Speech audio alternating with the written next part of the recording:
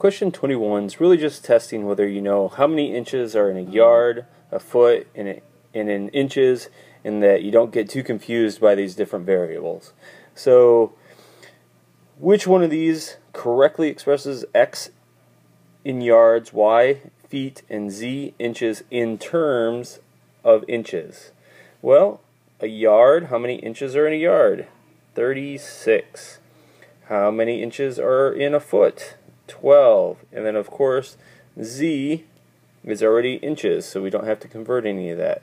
So let's see, we're looking for something that has an X 36. We're looking for uh, the Y with 12, and we'd have a 1 with the Z. And for that, I look at all the different options here, and I would have to go with A. A would be the correct response.